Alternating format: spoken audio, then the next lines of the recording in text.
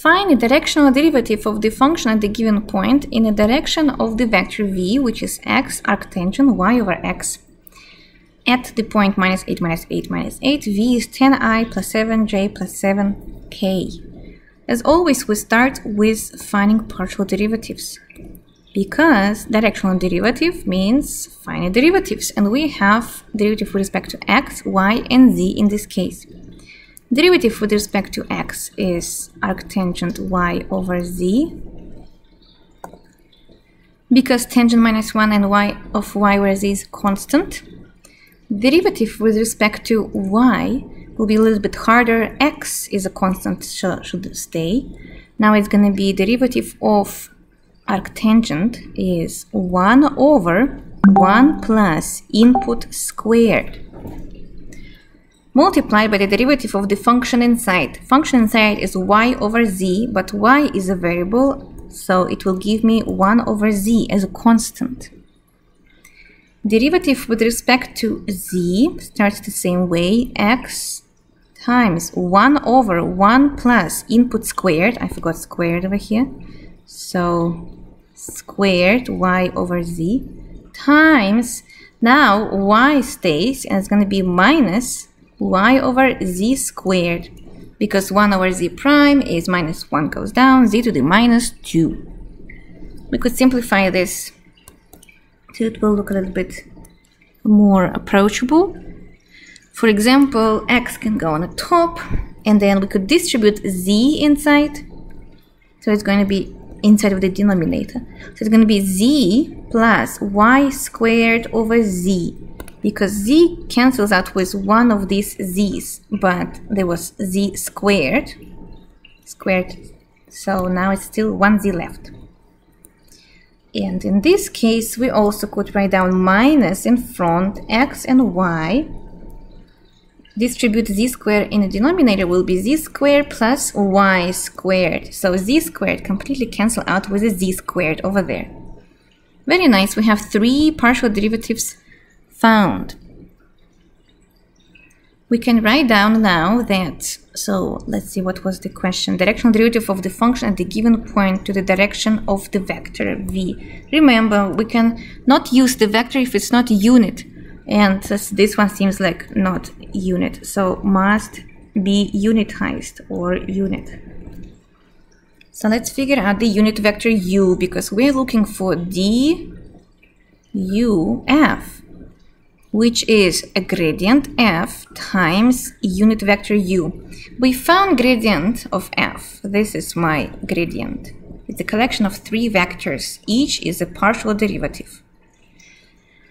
But u will be v over v, right? Vector over size of that vector. So to make it unit, that will be, so let's see, that will be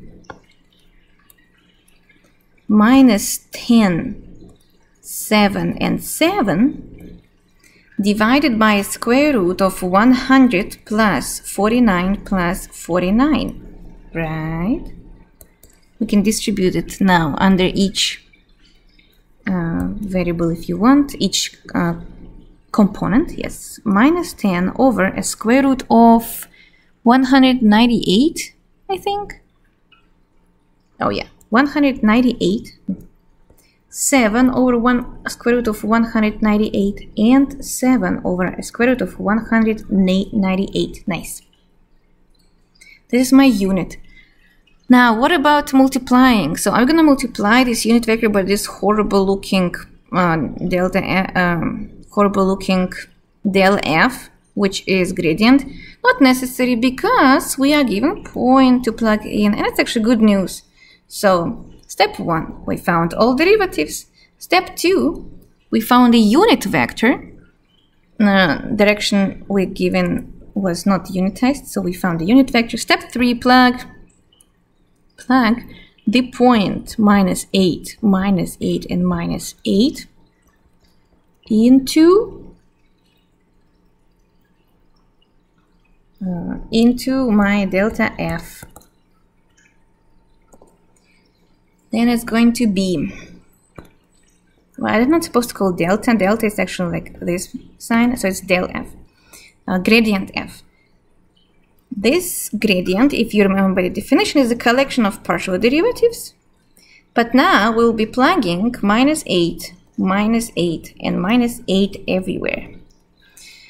I will plug it into the um, simplified versions. But you can also put a bar like so, a bar like so, and plug it minus 8, minus 8, minus 8. Very convenient numbers because we don't have to sign x, y, and z. Everything is minus 8. Tan arctangent of 1 is going to be pi over 4. Because remember, pi over 4 is that angle where sine and cosine match. So angle um, of tangent of what angle gives you 1? Pi over 4. So that was very nice. Now, at minus 8, minus 8, minus 8, this bar means at. That's a very common notation. Uh, for the second for the partial derivative with respect to y will be minus 8 and minus 8 and minus 64 over 8, which is apparently 1 half. That's what I see in my notes. And the last one at minus 8, minus 8, and minus 8 is going to be minus, minus 8 times minus 8 is 64. 64 plus 64, which is apparently minus 1 half. So we have three components of the vector now, pi over 4, 1 half, and minus 1 half. Last step 4 is going to be d sub uf is a product of the gradient times the unit vector. So the answer will be a um, it's a scalar product, right? So it's going to be a scalar or a number. Uh, it's a dot product if you want this name. It's going to be pi over 4 times minus 10 over square root of 198 comma 1 half times 7 over square root of 198 comma minus 1 half times 7 over square root of 198 so I'm not supposed to do commas. I was wondering if you catch that. Remember, the answer is not a vector, so I wanted to point out this is what usually students do. They make this mistake and then they give the wrong answer. This is called a scalar product. A scalar product. So, sca scalar. Yes.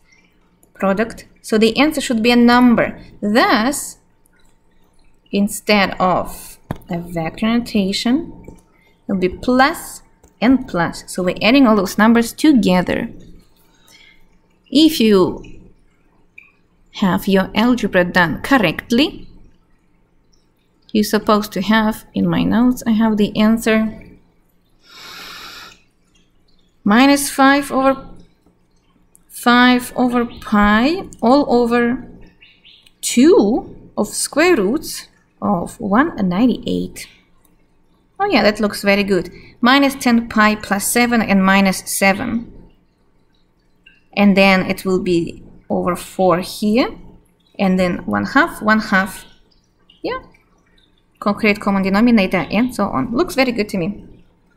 So the final answer is a scalar. That's why we're calling, we're calling this dot product a scalar product.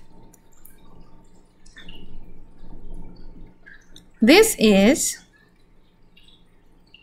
a directional derivative of the function where at the given point the initial point is very important and then a direction is very important.